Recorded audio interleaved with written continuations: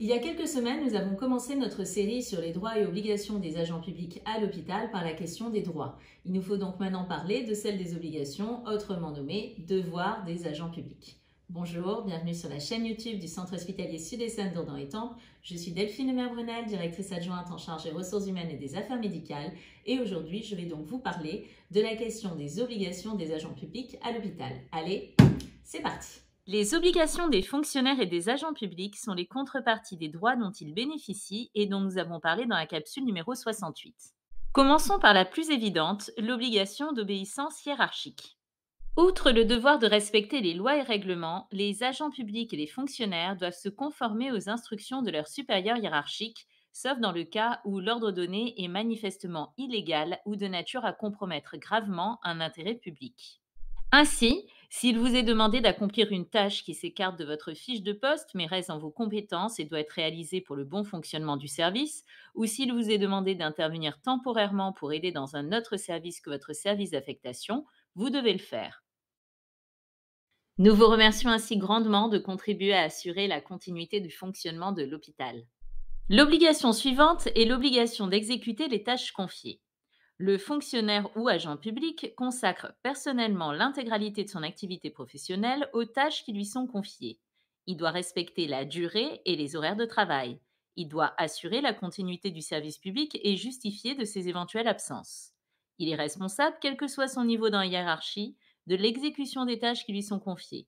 Il n'est pas dégagé de ses responsabilités par la responsabilité propre de ses subordonnés. Les agents publics ont également une obligation d'exclusivité.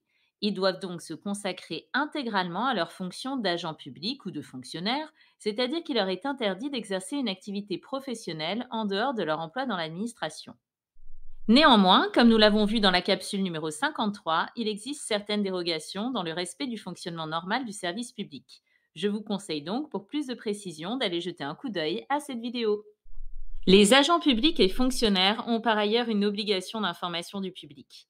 Cette obligation se retrouve dans le principe de libre accès des usagers aux documents administratifs. Les agents publics doivent donc répondre aux demandes d'information du public, mais dans la limite du secret professionnel et de l'obligation de discrétion professionnelle. Passons donc au secret professionnel.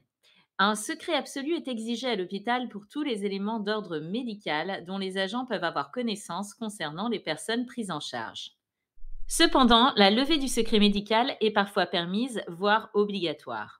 Ainsi, la levée du secret médical est permise dans certaines circonstances pour prouver son innocence et lorsque la personne intéressée a donné son autorisation. La levée du secret médical est obligatoire quand il s'agit de dénoncer des crimes ou des délits dont on a connaissance en vertu de l'article 40 du Code de procédure pénale et auprès de la justice dans le cadre de demandes de renseignements ou de documents ainsi que dans le cadre de témoignages. Dans ces situations, la levée du secret médical est strictement encadrée et il est nécessaire de bien respecter les procédures qui l'organisent. L'obligation de discrétion professionnelle peut se résumer au fait que ce qui est connu par l'agent public ou le fonctionnaire au travail reste au travail. Il n'est par exemple ainsi pas question d'évoquer de façon détaillée dans le cadre privé des situations professionnelles. Il en est de même pour tous vos réseaux sociaux. Soyez vigilants dans vos usages. Je vous conseille de jeter un coup d'œil à la vidéo de nos collègues de l'hôpital d'Argenteuil sur l'utilisation des réseaux sociaux dans les hôpitaux. Contrairement à l'obligation de secret professionnel, tout manquement à l'obligation de discrétion n'est pas pénalement sanctionné, mais peut conduire à une procédure disciplinaire. Le devoir de réserve est lié au principe de neutralité du service public. Pour les valeurs émissions du service public, vous pouvez d'ailleurs vous reporter à la capsule numéro 15.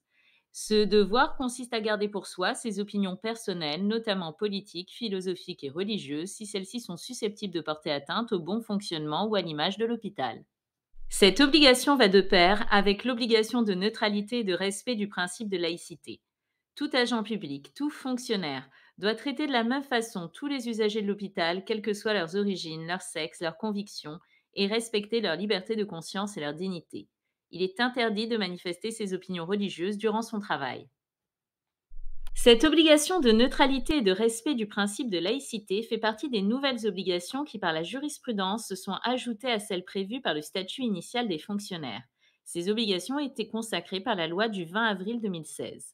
Il s'agit de l'obligation de dignité qui fait qu'un fonctionnaire ou un agent public ne doit pas, par son comportement, porter atteinte à la réputation de l'administration, de l'obligation d'impartialité qui approfondit la notion de neutralité, les préjugés et les opinions ne doivent pas conduire les agents publics ou les fonctionnaires à traiter les personnes différemment entre elles, et également de l'obligation d'intégrité et de probité qui signifie que l'agent public ou le fonctionnaire ne doit pas profiter de son statut pour en tirer des avantages personnels.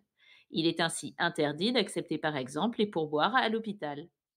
Eh bien, ça y est, cette vidéo est maintenant terminée. J'espère que vous l'avez appréciée. N'hésitez pas à la liker, à laisser un commentaire ou bien à la partager. N'hésitez pas non plus, si ce n'est pas déjà fait, à vous abonner à notre chaîne YouTube, à cliquer sur la cloche qui apparaît sur l'écran afin d'être informé en temps réel de nos dernières publications.